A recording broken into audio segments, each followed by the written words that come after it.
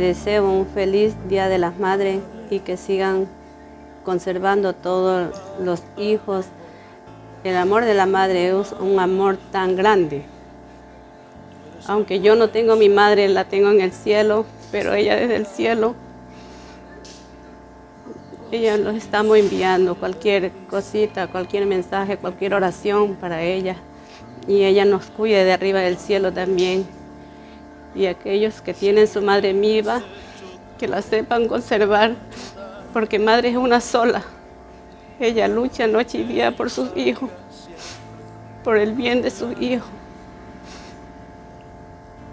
Y ahora que yo tengo a mis hijos reunidos, aunque todo, le deseo la bendición de Dios para todo y que sigamos reunidos así en familia. En este día tan especial, el Día de la Madre, quiero llegar un saludo cordial a todas las madres eh, de la parroquia y en general a todas las madrecitas del mundo, y especialmente a mi madre, eh, la madre más hermosa del mundo. Quiero decirles que a todos los, hijos que tenemos que tenerle un cariño, un aprecio, un amor a nuestra madre, hacerlo en, tiempos que cuando uno tiene vivas nuestra madre. Una madre es lo más grande que uno tiene, es incansable su trabajo día a día, un trabajo de madre y padre, donde a veces nosotros como hijos no sabemos reconocer el ser más importante que tenemos en el mundo.